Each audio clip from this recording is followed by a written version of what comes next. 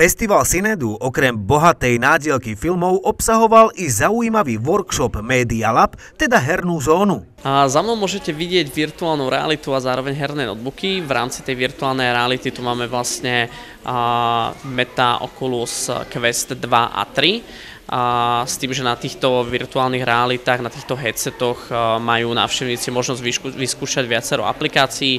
A z takých tých herných tu máme napríklad Beat Saber, kde svetelnými mečmi sekáte nejaké kocky, potom tu máme nejaké edukatívnejšie a nejaké zážitkové. Z tých zážitkových je tu napríklad aplikácia The Blue, a respektíve je alternatíva, ktorá vám umožní ocitnúť sa uprostred oceánu a vy môžete pozerať okolo, pozorovať okolo seba rybky a veľryby a rôzne ďalšie zvieratá, ktoré môžete bežne v mori stretnúť. Súčasne sa v kine Považan premietali zaujímavé filmové snímky. Takže teraz uvidíme film Čarodení Kajtek a herci e, neprídu, keďže sú to väčšinou polskí herci a žijú v, vo Vroclavi alebo vo Varšave.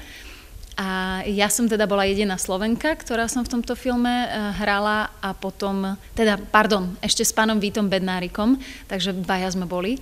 A potom tam bol jeden Čech, český herec Martin Hoffman.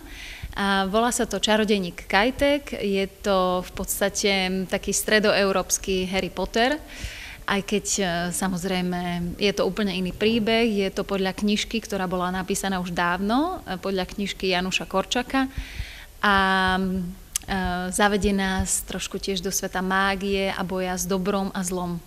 Festival Synedu v Novom meste nad Váhom potrvá do 1. októbra. Radovan Masár, Televízia Pohoda.